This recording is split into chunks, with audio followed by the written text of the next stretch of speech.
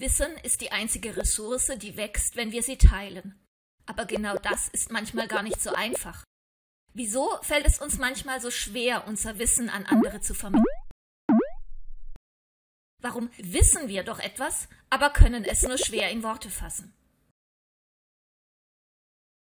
Das ist Michael Polanyi. Wow. Er war ein ungarischer Philosoph und Soziologe und beschäftigte sich genau mit dieser Frage.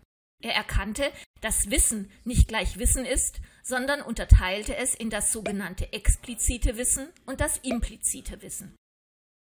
Dieses explizite Wissen kann kodiert, das heißt in Zeichen übersetzt und dann durch beliebige Medien gespeichert, verarbeitet und übertragen werden.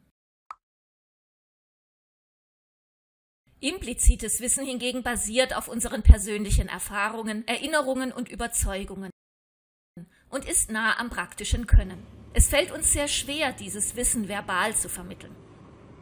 Ja, manchmal sind wir uns selbst dieses Wissens gar nicht bewusst. Wir wissen mehr, als wir zu sagen vermögen, meint dazu Michael Polanyi. Ein Beispiel.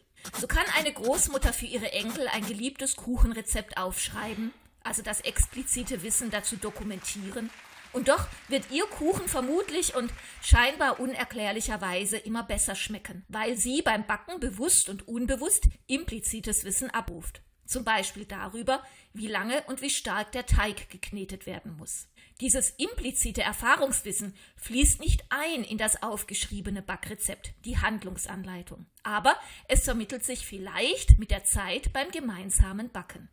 Ein Ziel von Wissensmanagement kann es sein, zwar explizites Wissen, das aber noch in den Köpfen steckt, in Dokumentation zu überführen, um es in der Organisation breiter nutzbar zu machen und das Risiko eines Wissensverlusts durch den Weggang von Mitarbeiterinnen und Mitarbeitern zu reduzieren.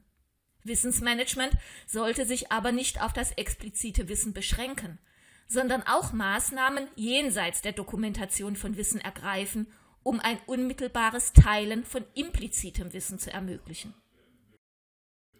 Einfach erklärt, explizites Wissen lässt sich einfach in Worte fassen, implizites Wissen nicht. Daher demonstrieren wir es praktisch, um dieses Wissen zu vermitteln, oder üben es, um es zu erlangen.